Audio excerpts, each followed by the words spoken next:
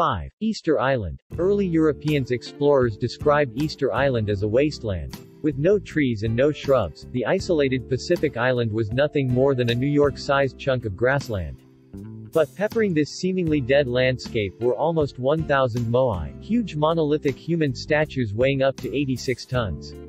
Without materials for making rope or lumber, visitors wondered, how could the early inhabitants of Easter have mounted these enormous sculptures into place?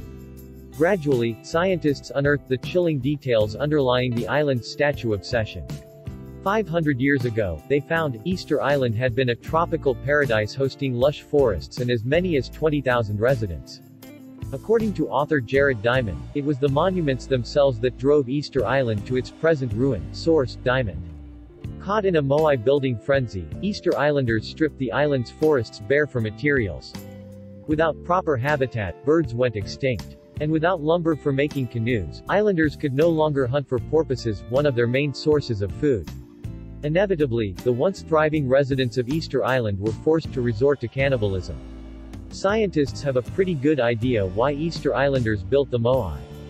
They were status symbols, pure and simple, Easter's rival groups were locked in a fatal race to one-up their competitors.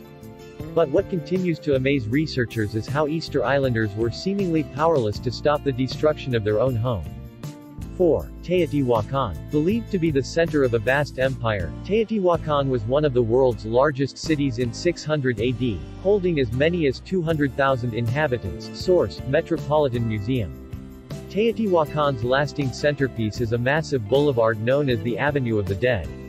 Stretching for 1.6 miles 2.5 kilometers, the boulevard is flanked by massive platforms, muraled walls, sunken plazas and two pyramids large enough to rival the Great Pyramids of Egypt. To this day, nobody knows who built Teotihuacan, or what became of its inhabitants. The ancient Aztecs, who lived among Teotihuacan's ruins, were oblivious to the city's original architects, although they worshipped them for their skills. The word Teotihuacan is an Aztec word meaning place where men became gods. With no royal tombs or artwork depicting the city's leaders, Teotihuacan offers few clues for archaeologists. However, they've uncovered some evidence of the city's violent end. At some point, Teotihuacan began embracing a culture of increasing militarism, possibly as a way to strong-arm nearby groups into paying tribute to the ballooning metropolis. Sometime around the 7th century, brutal conflict erupted, portions of the city were repeatedly sacked and burned, and the ancient city was quickly abandoned. 3. Machu Picchu. Machu Picchu isn't a lost city, as many tourist brochures would have you believe. It was simply a summer hangout for the Inca king. Undiscovered by Spanish conquistadors, it wasn't until 1911 that American explorer Hiram Bingham broadcast Machu Picchu's secrets to the world. The site is now Peru's most visited tourist attraction. Completed around 1450, Machu Picchu is an undisturbed masterwork of Inca craftsmanship nestled high in the remote Andes. Supporting as many as 750 residents during the summer months, the seasonal retreat is a carefully planned patchwork of homes and temples held up by a mammoth network of underground walls. Acres of terraced farms notched into the Andean mountainsides provided the settlement with food. Most amazingly, the entire city is constructed from interlocking walls of smooth, polished stones. Without using mortar, the Inca fit the stones together like an immense jigsaw puzzle. Their work was so precise that even after centuries of earthquakes, in many places it's still impossible to slip a piece of paper between the seams of two Machu Picchu stones. The mystery of Machu Picchu is how the Inca were able to move such large stones to such a remote location. Although the rock was quarried locally, workers would still have needed to hoist 20-ton stones up steep mountain cliffs, an especially grueling task when you consider that the Inca didn't use wheels. Ultimately, the coming of the Spanish conquistadors was so devastating to the Inca that within a generation after the arrival of Europeans, nobody was left alive to recall the secrets of their mountaintop city. 2. Giant stone spheres of Costa Rica. While clearing the Costa Rican jungle for banana plantations in 1940, employees of the United Fruit Company began uncovering large stone spheres buried in the forest floor. Almost immediately, the mysterious spheres became prized lawn ornaments, ending up on the front yards of government buildings and fruit company executives throughout Costa Rica. Many spheres were broken in transit, and others were purposely dynamited by treasure hunters. It was a sorry fate for one of the region's greatest archaeological treasures. Hundreds of spheres, ranging in size from a basketball to a compact car, have been unearthed in the last 70 years. Carved by the ancestors of Costa Rica's indigenous people, the near-perfect spheres would have needed to be shaped using only other stones, since they didn't have access to metal tools. Sphere carving was much more than a passing fad. Archaeologists estimate that native Costa Ricans were carving spheres from as early as 600 AD to as late as 1500 AD. Source: Books. Archaeologists remain stumped over the purpose of the spheres. The people who made them had no written records, and their culture was decimated soon after the Spanish conquest.